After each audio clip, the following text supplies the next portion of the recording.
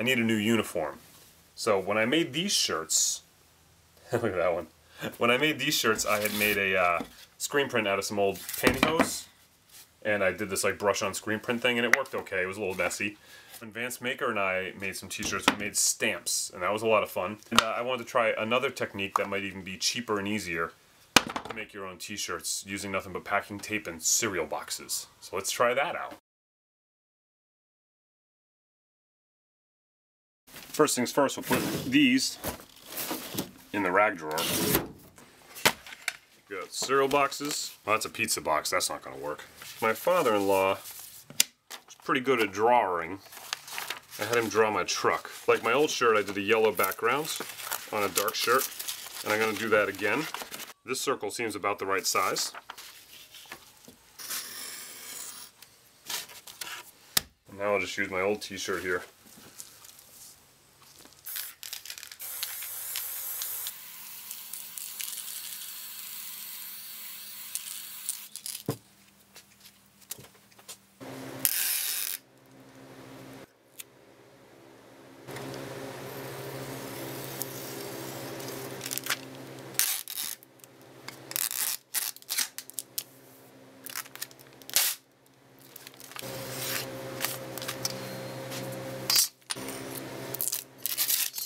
My original thought was to tape this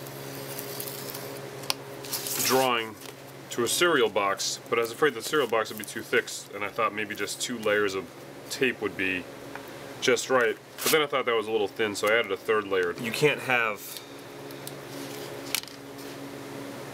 any individual pieces. Everything has to be attached. Otherwise you have a multi-part stencil, it'd be very difficult to put it all down and line it up. So I have to try and create this drawing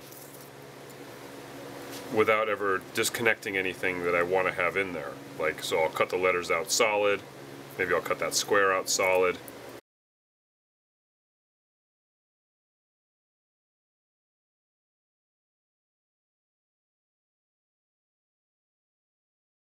Now we need some more cereal boxes. Cereal boxes are one of my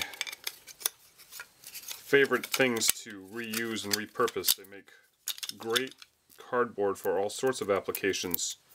I just have a stamp with my information. I cut the business card shapes out of cereal boxes and free business cards. The stamp cost me about 15 bucks.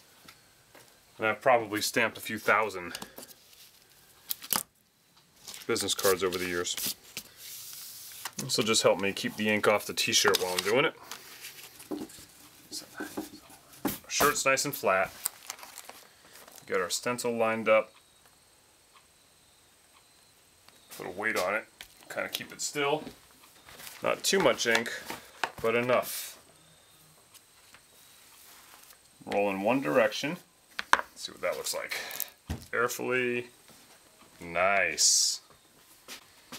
That's cool. That's the, the lettering on this. I mean, obviously you can't really read it unless you know who I am, which I expected doing trying to do letters that small. But it looks like the truck, which was what I wanted. I just hang this on the truck.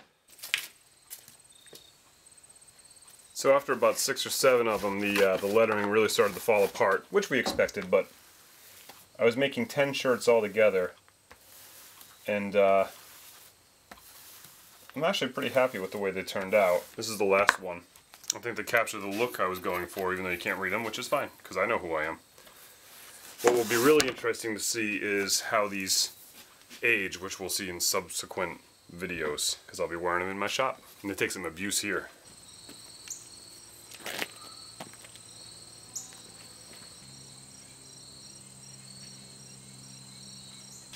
It's the next day. I grabbed a t-shirt out of my drawer at home, did the spray painted circle, I taped over the logo on my stencil, printed the stencil again. Now I have this stencil that I made like a million years ago. As you can see, it's well used. My logo, and I'm going to try to put that right here. Three color print now. How many guys do you know doing that in their garage? Alright, that's a little too much ink there, but that looks great. This is going to be the shirt that I make for sale. I'll make a new stencil with my font there. That's a little cleaner. And we'll do a three color. I like it. Well, I think it came out pretty cool. Um, I've washed this one a few times now. Seems to be holding up pretty good. And I like how the spray paint feels a little bit like sandpaper, but I do know from experience that that'll soften up over time. I've spray painted shirts before. Uh, I'm going to put these available for sale in my web store, which is at timsway.net. And just click on the button that says store. I just revamped my website, so it's not as embarrassing now. And um, I'm going to do like a pre-order thing, so I'm going to wait until a few orders come in, then make a big batch and ship them out. If you want one, go ahead and uh, check that out there. It would really help support my channel a lot. I'd really appreciate it.